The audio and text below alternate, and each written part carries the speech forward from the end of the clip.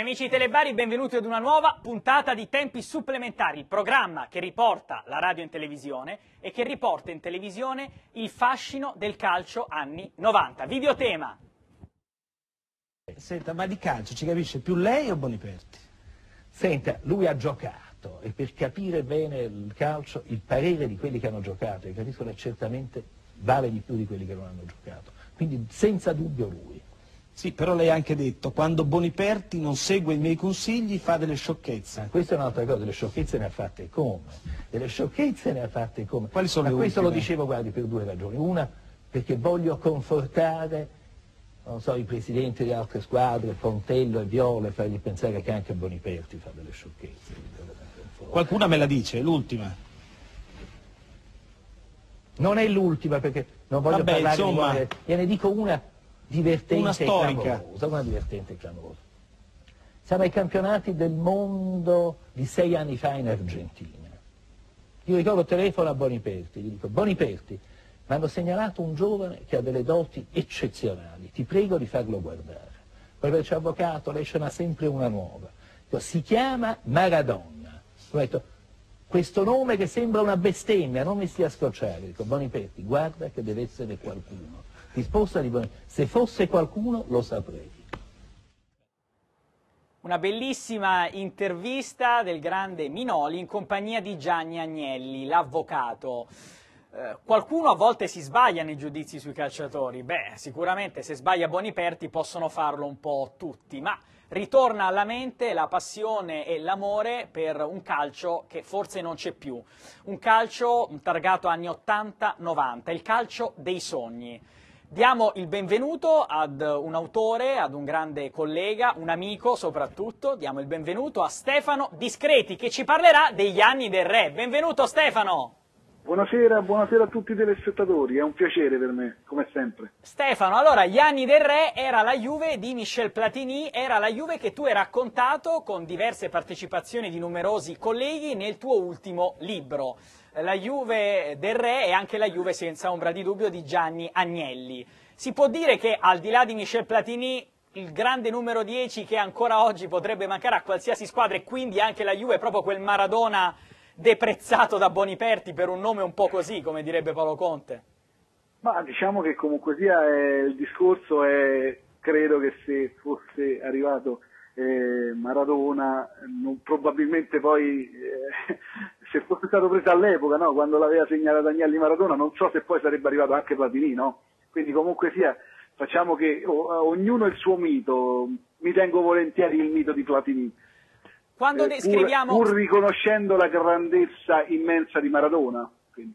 Quando parliamo di Platini parliamo di un talento particolare, un talento dei tuoi anni, della tua giovinezza. Io, essendo anche tuo amico, so bene la tua ammirazione per, per Michel. La caratteristica di questo numero 10 di origine novarese qual era? Era il suo un calcio assolutamente fantasioso ma geometrico, un calcio costante, un calcio fatto di alto rendimento, di concretezza e di tanti gol. E forse è stato il numero 10 più concreto della storia, Maradona a parte sempre, eh? Diciamo che parliamo intanto di un'epoca che ha fatto sognare tutti, eh, gli italiani, in particolare gli juventini, ma eh, parliamo del calcio più bello di sempre, parliamo del campionato italiano più bello di sempre, perché eh, proviamo a vedere un po' in quegli anni eh, chi c'era in Italia di stranieri, no? la Juventus aveva Platini, il Napoli Maradona, eh, la Roma Falcao, ma mh, ci- le squadre anche minori, tra virgolette minori, che comunque lottavano per il quinto, per il sesto, il settimo posto, annoveravano dei talenti pazzeschi, basti pensare che l'Udinese aveva Zico, uno dei giocatori brasiliani più forti di tutti i tempi, il Torino aveva Junior, eh, la Fiorentina Socrates, immaginare Zico all'Udinese, io riporto sempre questo esempio, è come pensare se oggi uno dei grandissimi, uno tra Ibrahimovic, Cristiano Ronaldo, Messi, giocasse non nella Juventus, nel Milan, nell'Inter, ma giocasse, che ne so, nella Sampdoria ehm, o nell'Udinese stesso. È credibile all'epoca di oggi una cosa del genere? Assolutamente no. In quegli anni, come disse anche Pelé, tutti i più forti volevano venire a giocare nel campionato italiano. In quegli anni il calcio italiano era il più forte di tutto, in assoluto, non, non, non era uguali, era il campionato più bello di tutti, eh, un campionato appassionante, un campionato in cui c'era veramente rivalità tra i tanti e tra questi la squadra che è emersa di più è stata ovviamente la Juventus di Platini, guidata da questo giocatore che un 10, un numero 10, un centrocampista per tre anni consecutivi è stato capocannoniere della classifica dei cannonieri. Ricordiamo, ricordiamo anche i palloni d'oro inanellati. Vediamo una tua foto, Stefano, con Luciano Moggi.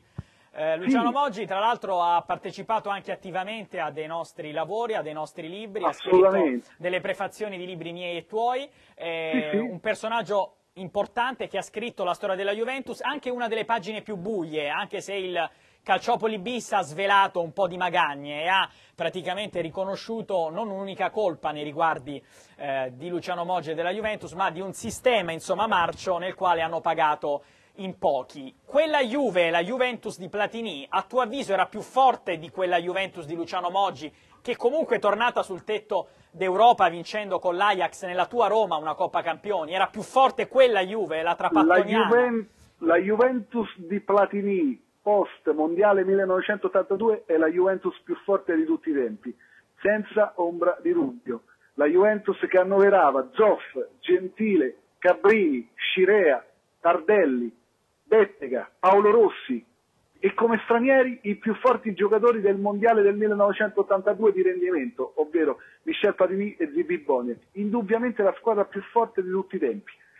Questo, questo va detto comunque sia poi la Juventus di Lippi, la prima ha in parte diciamo, avvicinato quella Juventus, ma eh, se noi andiamo a pensare soprattutto ai primi tre anni della Juventus di Platini, eh, Platini in tre anni alla Juventus ha vinto Coppa delle Coppe, Supercoppa Europea, Coppa dei Campioni, Coppa Intercontinentale, tutto quello tutto. che c'era da vincere. Stefano, vinto... so... quella Juventus ha sbagliato solo una partita, la partita di Atene contro l'Hamburgo. Per assurdo, per... un altro francese, come ricordiamo un gol preso da Felix Magat praticamente da centrocampo con Zoff un po' colpevole un po' no, noi tra l'altro l'abbiamo anche ospitato, ma per assurdo un altro grandissimo numero 10 francese di scuola e nazionalità, perché ricordiamo aveva il doppio passaporto algerino, ovvero Zidane, ha vinto pochissimo a livello di club, fatto diciamo, un paragone con Platini, ha segnato anche molti meno gol ed è forse stata una declinazione diversa del Platini stesso, ovvero di un calcio diciamo... ancora più fantasioso ma assolutamente meno concreto e l'avvocato che abbiamo ammirato lo definì più divertente che utile. Assolutamente sì, guarda, le parole che hai detto tu sono giustissime. Il grande peccato di Zidane è stato quello di fallire diciamo, le, le, partite, le due finali di Champions League, no? quella contro il Borussia Dortmund e quella contro il Real Madrid, di non essere decisivo in quelle partite. Nel contesto proprio della sua permanenza alla Juventus è stato un giocatore fantastico, stupendo da ammirare, però poi era poco concreto diciamo, sotto porta, certo eh, serviva degli assist pazzeschi, però non era quel trascinatore che invece è stato Michel Platini, perché Michel Platini, oltre che un giocatore concreto, è stato un leader, un leader silenzioso ma ironico, un leader pazzesco.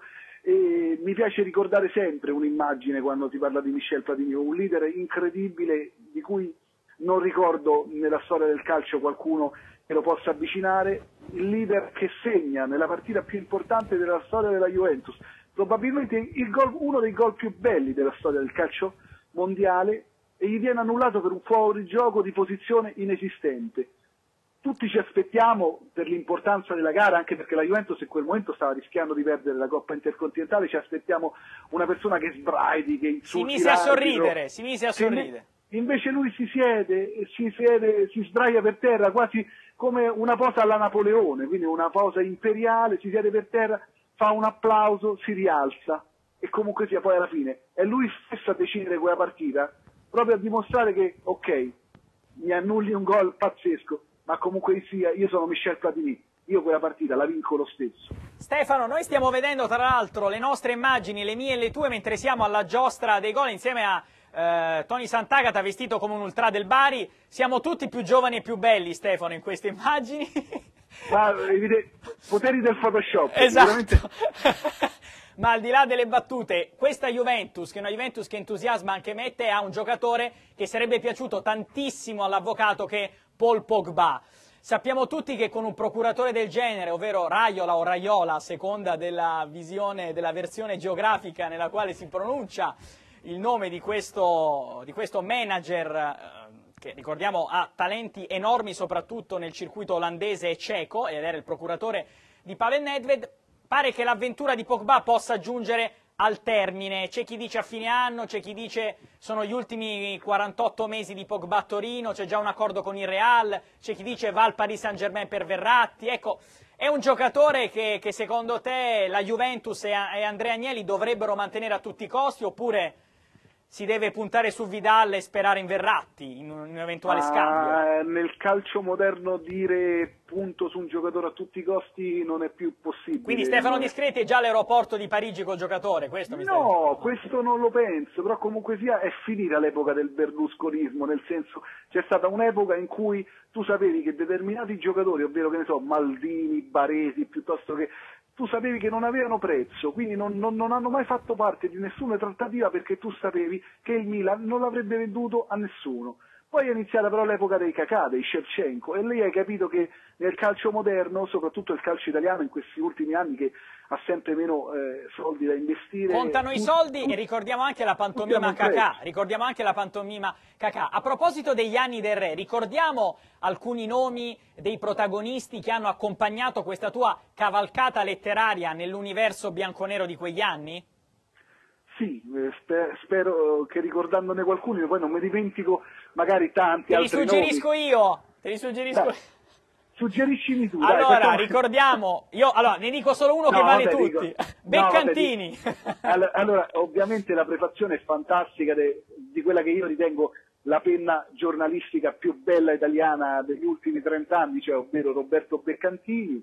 C'è una, una simpaticissima intervista introduttiva a Giovanni Veronesi, no? talento estroso, regista veramente eh, Sui generis. Veramente eh, talentuoso, dai, diciamo un personaggio fuori dagli- da qualsiasi schema e poi tante partecipazioni molto, eh, molto gradite, quella di- dell'amico carissimo Massimiliano Bruno, anche lui regista, di Giulio Base, anche lui regista, poi c'è, c'è Paolo Belli, Claudio Chiappucci, eh, Beppe Braida, David Chi più ne Prodelli, ha più ne metta, poi c'è anche. Alvise Cagnazzo, eh, io me lo ricordo. Alvise Cagnazzo, cioè. Perché dovete sapere che io e Stefano Discreti abbiamo un rapporto quasi fraterno, quindi No, siamo vabbè, sempre in Cagna- coppia. Alvise Cagna- Alvise Cagnazzo è scontato che faccia parte di, di un progetto di, o condiviso o comunque sia, ci mancherebbe. Ci Stefano, mancherebbe. allora- Però no. ovviamente tu, tu, essendo un ragazzo molto più giovane di me, eh, ovviamente quella Juventus non l'hai vissuta mh, sulla tua Infatti, pelle. infatti era il che mi sono perso, il titolo del paragrafo. Grazie Sì, ancora a Stefano Discreti, gli anni ciao, del re. ciao, ciao, ciao Stefano. ciao, ciao, un saluto a tutti. Ciao, torniamo subito e proseguiamo nel solco bianconero.